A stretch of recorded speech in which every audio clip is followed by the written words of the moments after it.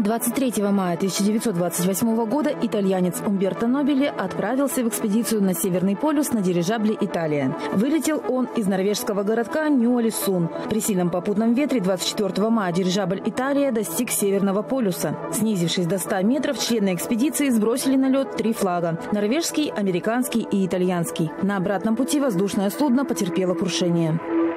В этот день, 15 лет назад, Москва официально вступила в борьбу за право проведения Олимпийских игр 2012 года. Она присоединилась в гонке к Парижу, Лондону, Нью-Йорку, Мадриду, Гаване и Лейпцигу. Власти страны считали, что принимать игры на своей территории может стать толчком для развития не только столицы, но и всей страны. По решению Олимпийского комитета с перевесом всего в 4 голоса победил Лондон. 23 мая 1959 года родилась Лариса Гузеева, актриса театра и кино, телеведущая, заслуженная артистка России. Ее первым успешным фильмом стала картина Ильдара Рязанова «Жестокий романс». Актриса сыграла в 60 картинах, среди самых известных «Соперницы», «Секретный фарватер» и «Миллионер по неволе».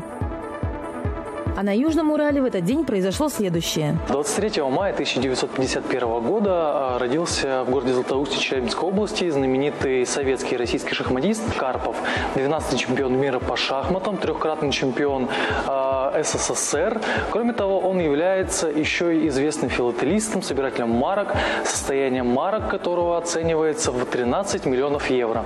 Также э, Евгений Анатольевич является почетным гражданином города Златоуста и э, депутатом шестого созыва в Государственную Думу Российской Федерации.